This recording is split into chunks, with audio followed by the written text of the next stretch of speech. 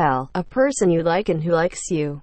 Gee, you're a great guy. I like you, Chubby. Joe and Chubby are pals. They like each other.